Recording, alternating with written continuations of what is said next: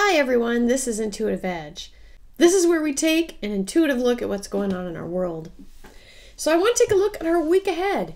Haven't done one of these in a while. What do the cards say is coming up? We're going to look at what's going on in politics, in the news, things that might be behind the scenes.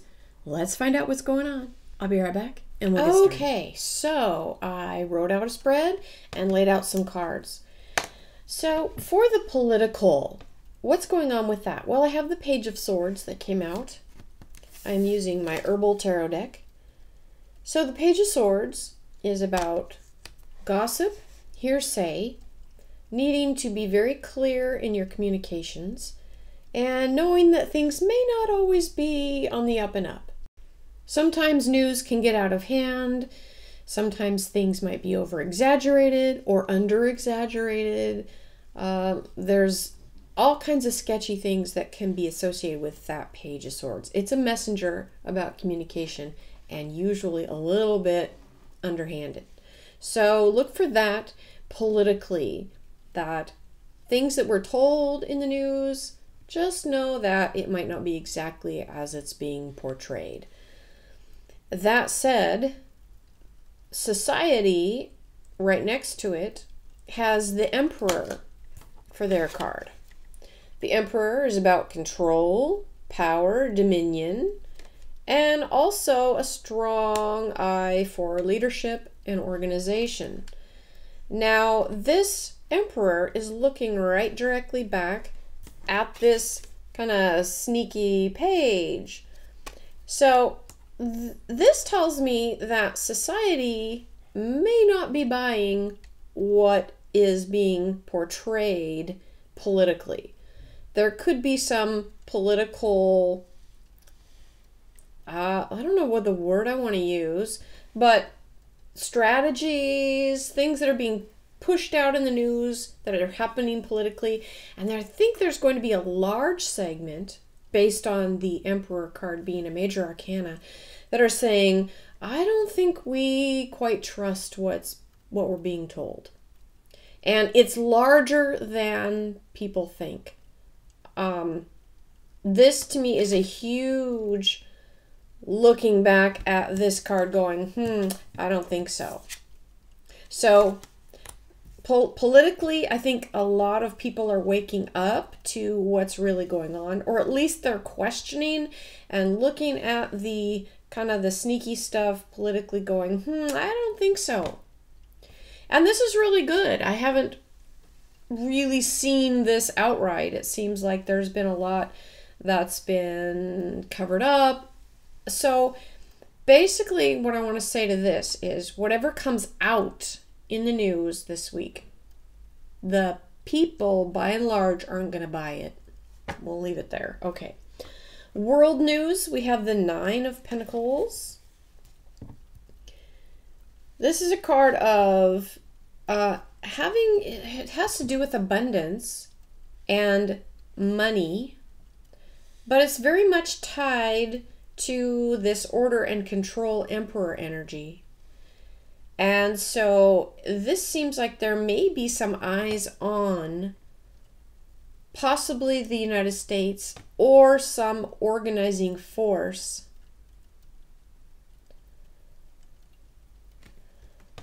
Hmm.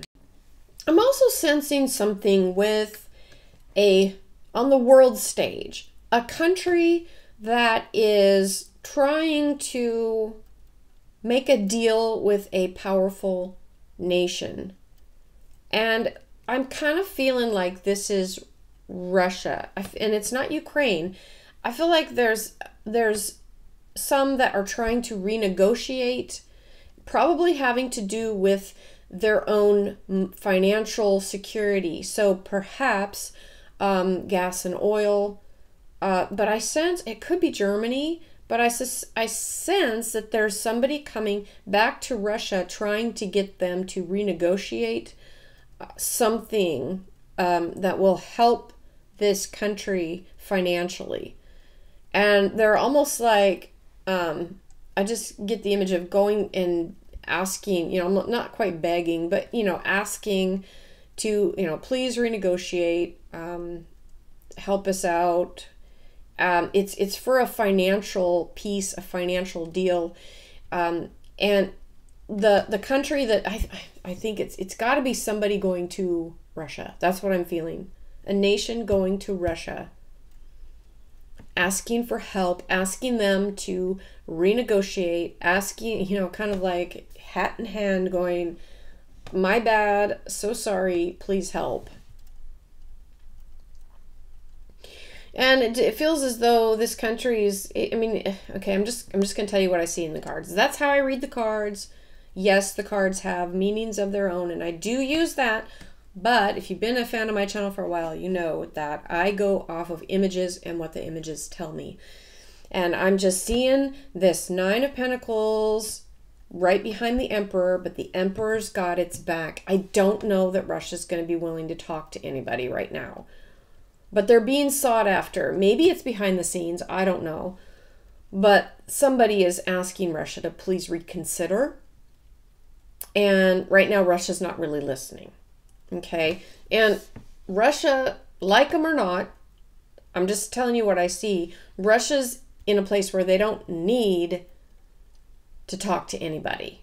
Okay. They don't need anyone's permission. I'm just telling you what I'm seeing. And so, trying to get them to come to the negotiating table or the renegotiating table may be a little bit of a challenge because what do they have to gain? So I'm not saying it's impossible. I'm just saying that there's somebody that's really pushing Russia to please help and mm, it may or may not work. Okay. Russia's got its own issues looking in other directions, and this is not a priority for them. Okay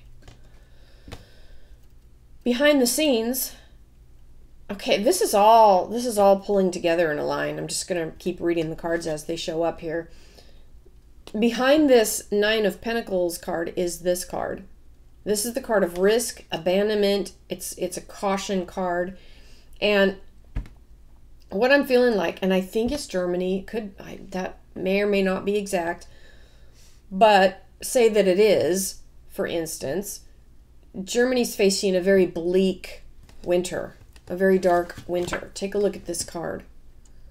Okay, so you see there's snow on the ground. This person is trying to stay bundled up and warm, and they're facing an uncertain future.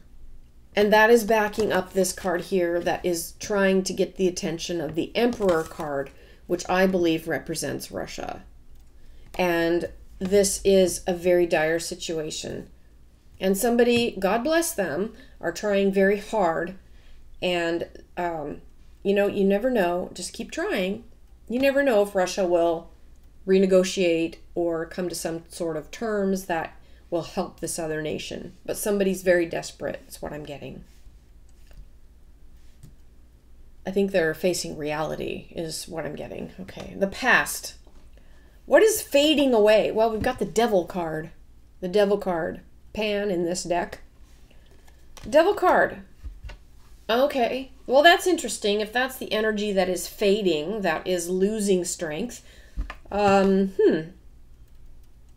All right, let's keep going. That's just interesting. Let me see what else pulls into that if I'm getting any other artwork that pulls me into more of the story. The future is what's ahead, and I've got, okay. We have the Knight of Swords on what's coming up. This is a card of taking action. And having this, it, it uh, it's very interesting that this Knight of Swords is facing away from the Devil card, telling me that, in fact, this energy is fading away. Now, the question would be to know what exactly the devil represented. And that could be a lot of things.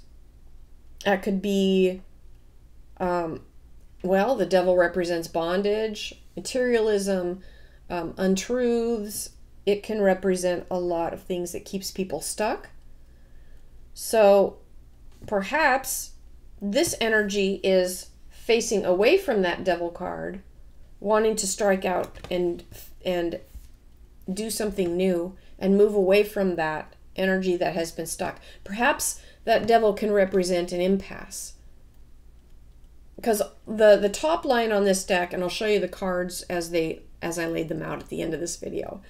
But the top cards represented in a line a story. And I think the story is continuing with this impasse and having to walk away from an impasse and find new direction, find a new path forward. And this this knight is a very strong card of finding a new path forward. I think there's a stalemate and an impasse. And this looks to be on the world stage, okay, more than just the United States. This is on the world stage, this whole thing, I think.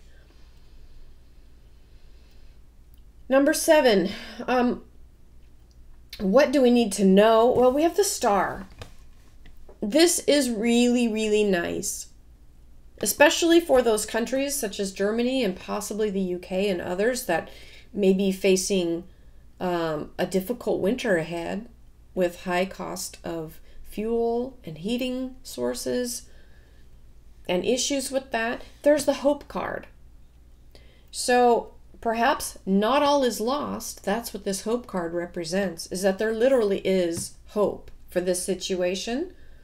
That's why I'm thinking whoever this person is, this nation is that is pestering Russia to please reconsider, to not give up hope. And that hope card is right underneath this card here in the way I have my cards laid out. And again, I'll show it to you at the end.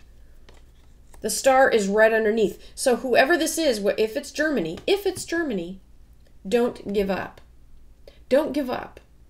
Keep finding a way to renegotiate and try to play nice and not poke the bear and just try to see if you can negotiate something. Somebody has it in them to do something good for their country. And a lot of lives depend on you getting it right. So don't give up. The overall outcome. Ah, this is a really nice card. The overall outcome for all of this is a Two of Cups. Hugely positive. Right after the star, the card of hope, we have a partnership forming. So I think this whole thing could turn around. This issue, this country that literally needs Russia's help. And maybe they've acted foolishly in the past this is the time to, if you have not quite grovel, but maybe this is the time to say, okay, help us out here. What can we do to make this better for our people so that our people don't starve, don't freeze this winter, that kind of thing. I think there is a path forward to a new beginning. We have this ace underneath, which is the card of new beginnings, especially financially. I think there's hope for this situation. I know there's been a lot of people feeling like what this situation's hopeless with what's happening with the food and the fuel and all of that. It's not hopeless. I think there is hope to continue to forge a path of a partnership again. And you don't always have to like another nation to be able to work out a deal that's mutually beneficial for your people. It's just the nature of the game. And I think that's what's going to have to play out here. But this country needs to keep in mind Russia doesn't have to. They're not in a position where they have to uh, negotiate with anybody. They're pretty much self sufficient and they're pretty much setting up their own parallel polis where they're pretty much on their own and they don't need to be dependent on other nations for their well being. And that is very strategically done by Mr. Putin to put Russia in a good position. So I think this is going to be playing out this week. We may be seeing these inklings, these things poking out in the news.